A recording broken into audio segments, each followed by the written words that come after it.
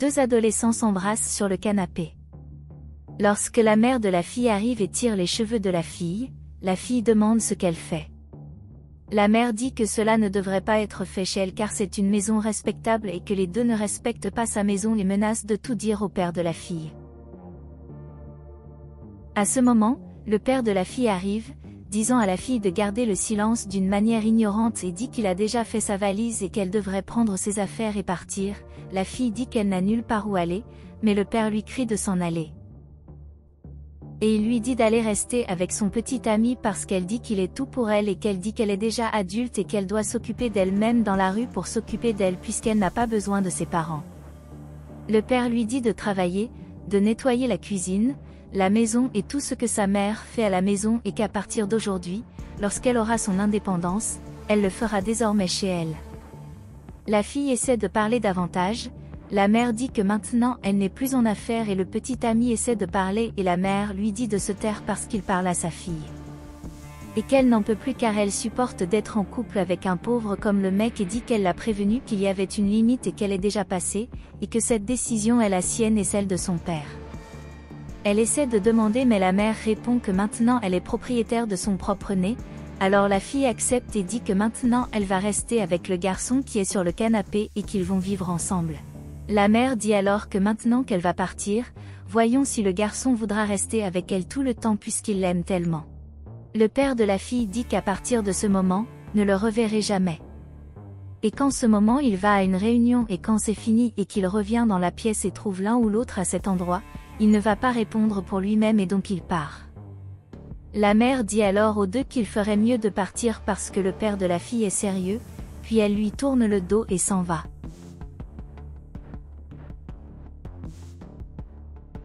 Lorsque la fille s'apprête à appeler le garçon pour qu'il parte, il la prend par le bras et la fait asseoir sur le canapé.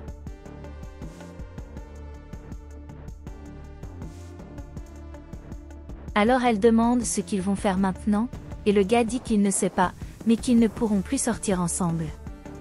Alors elle demande pourquoi, et il dit qu'à quoi ça sert si elle a été reniée par ses parents et qu'il n'aura aucun avantage, et elle demande si c'est sérieux parce que sa mère l'aime beaucoup. Et puis il dit en souriant que sa mère ne l'aimait pas mais son argent aussi. Et que malheureusement il doit partir et elle se retourne avec ses parents. La fille réfléchit et il se lève et part en se plaignant,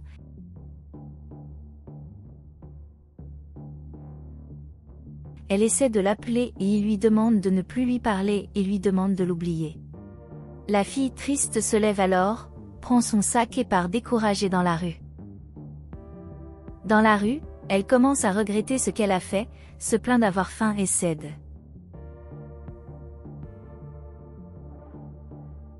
Elle dit qu'elle s'est mise dans une très mauvaise situation, parce qu'elle n'a nulle part où aller et nulle part où rester et qu'elle doit trouver un moyen de résoudre sa vie, puis elle baisse la tête pensivement.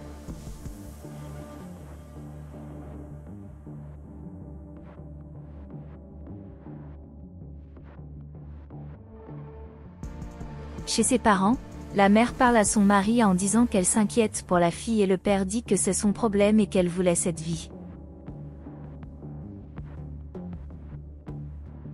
La mère demande alors qu'elle ne voulait pas vraiment ça et commence à réfléchir avec son mari comment va-t-elle et comment va sa vie. Le mari dit qu'il ne veut pas savoir et que ce n'est pas son problème. La mère dit que le problème est aussi le leur car elle est la mère de la fille et elle est inquiète et elle dit ici parce qu'elle l'a soutenu car c'est son mari et elle l'a soutenu, Le mari demande si elle va commencer à jouer derrière son dos et la femme dit que c'est simplement parce que les deux sont responsables d'elle et de sa mère. Soudain, il commence à frapper à la porte et à la surprise c'est leur fille. Le père de la fille a déjà commencé à se plaindre et à demander ce que c'était. La fille dit alors qu'elle n'a nulle part où aller et le père dit que c'est son problème. Le père commence à perdre le contrôle en lui disant de se retourner et la mère de la fille lui demande de se calmer en lui prenant le verre de vin des mains. La mère dit alors à la fille qu'ils l'ont prévenue. La fille dit qu'elle est désolée mais la mère dit qu'ils ont dit à plusieurs reprises que ce garçon n'était pas bon et qu'elle a toujours fait l'éloge de sa belle-mère et maintenant elle n'a pas aidé. La fille dit que son ex-petite amie ne veut pas d'elle dans leur maison et à ce moment le père rit. Et il dit qu'il ne veut rien écouter d'autre. La mère dit alors qu'ils vont écouter et s'assied à côté de la fille.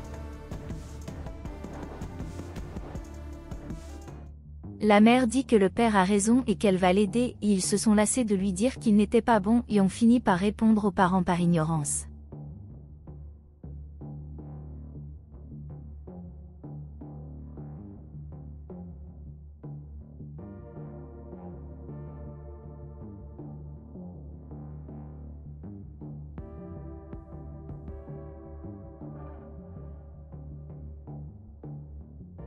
La fille dit qu'elle a hésité et son père le confirme et dit qu'elle tient ça de sa mère, c'est pour ça que c'est comme ça. À ce moment-là, la mère a dit non et qu'elle l'avait obtenu du père parce qu'elle pensait qu'elle était intelligente.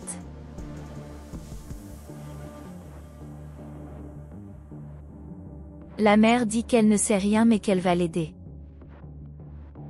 La fille dit que son père sera triste pour elle et sa mère répond que oui, et qu'elle ne peut pas forcer son père à lui pardonner.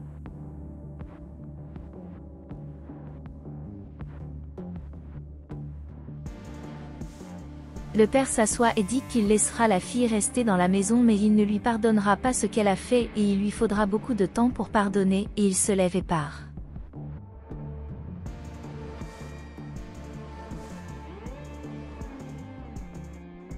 En cela, la mère et la fille sont très tristes et pleines de regrets. Plus la mère sur le canapé, la mère lui demande de le serrer dans ses bras plus tard et de lui demander pardon et de lui dire qu'elle l'aime et que tout ira bien. Plus tard dans la cuisine, la mère demande si sa fille va bien, et elle répond qu'elle se sent bizarre. La mère demande ce qu'elle ressent. Quand j'étais sur le point de parler, elle s'est levée et est allée aux toilettes. Le père demande ce qui s'est passé et la mère dit qu'elle ne sait pas et dit que cela pourrait être ce qu'elle a mangé la veille.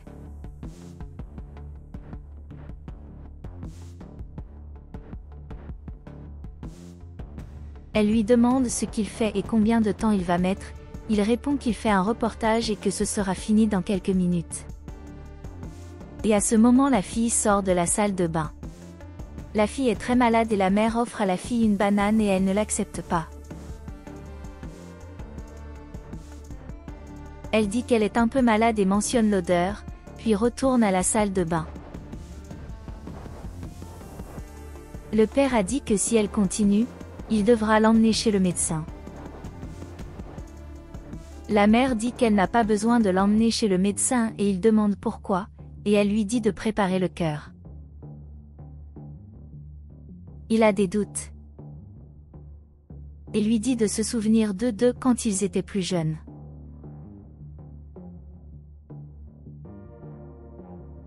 Et puis elle se lève et va voir ce qui se passe. Et le père est méfiant.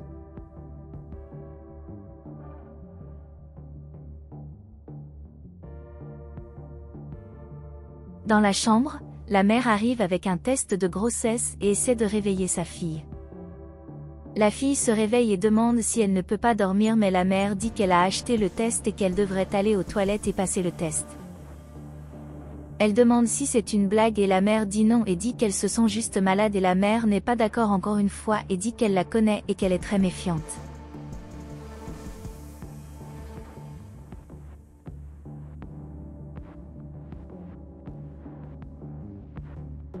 La fille se lève et va faire le test en se plaignant. Et la mère reste dans la chambre à plier le drap en se plaignant que ce n'est pas normal, et qu'elle est presque sûre et qu'elle sait et qu'elle attend la confusion que cela va cause. La fille revient de la salle de bain la tête baissée, et la mère prédit ce qui va se passer et les problèmes que cela va causer, la fille appelle sa mère et lui montre le test. La mère voit et fixe sa fille en disant qu'elle l'avait prévenue. Et il demande si elle est satisfaite du résultat du grand gâchis qu'elle a fait, et qu'ils l'ont accepté en retour et cela se produit.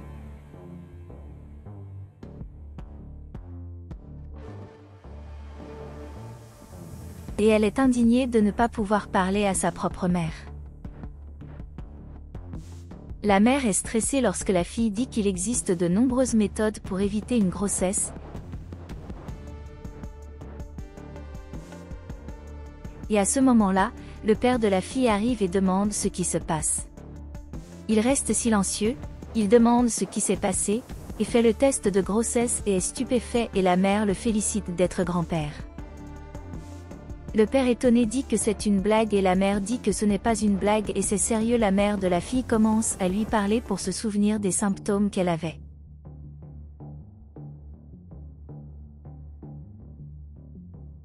Il est très surpris et demande ce qu'elle faisait de sa vie et la fille dit qu'elle ne sait pas comment c'est arrivé et sa mère dit qu'elle sait comment c'est arrivé. Le père criant dit qu'elle a mis fin à ses jours.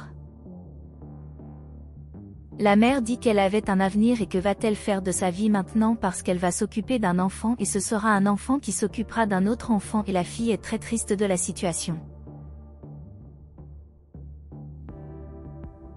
Le père hurle de stress qu'elle devait étudier et ne pas s'impliquer dans ce non-sens.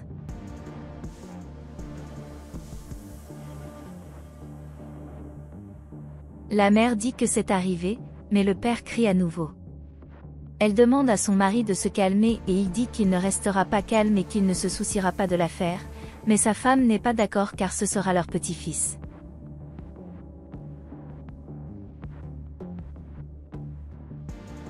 Il commence à crier qu'il s'en fout, remet le test et dit que quand l'enfant naîtra, il sait ce qu'il va savoir et il n'y a pas de dialogue.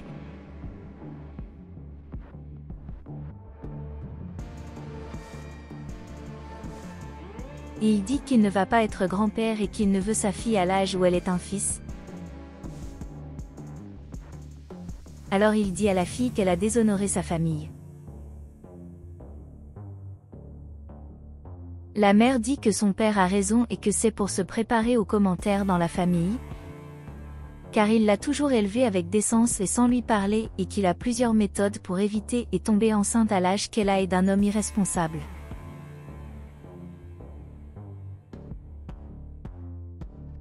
La fille demande quoi faire et le père dit qu'à sa naissance, il la fera adopter.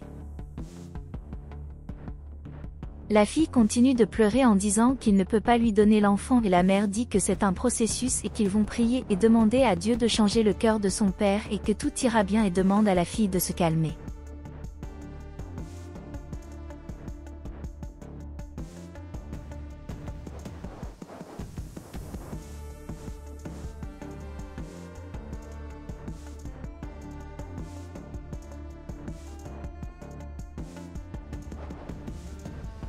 Neuf derniers mois. La fille arrive dans une voiture déjà avec sa fille à la main et sa mère l'aide à sortir de la voiture avec le plus grand soin.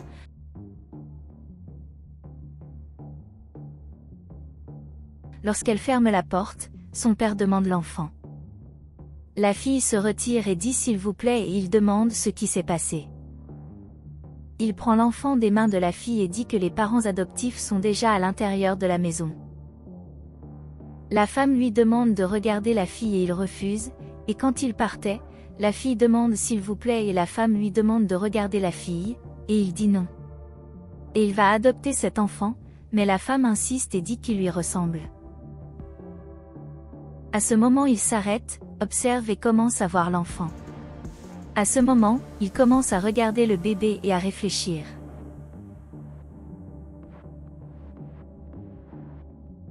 Et puis il devient ému en disant que ça y ressemble.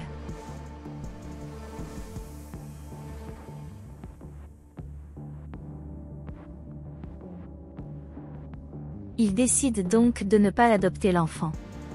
Et ils deviennent vraiment excités à propos de l'enfant.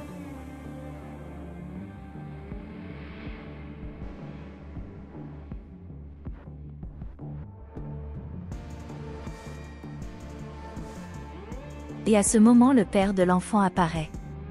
Et il demande si c'est sa fille, et la fille répond que la fille était la sienne et puis il dit qu'elle est aussi sa fille, le père de la fille demande ce qu'il fait à cet endroit et la fille dit qu'il l'a abandonnée elle et elle fille et que la fille était la sienne et lui dit de quitter cet endroit. Le père de la fille dit à l'homme de s'en aller et qu'il ne veut plus le revoir dans la vie et le renvoie.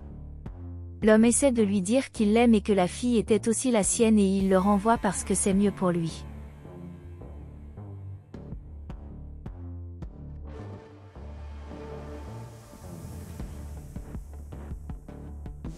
L'homme se retourne et s'en va.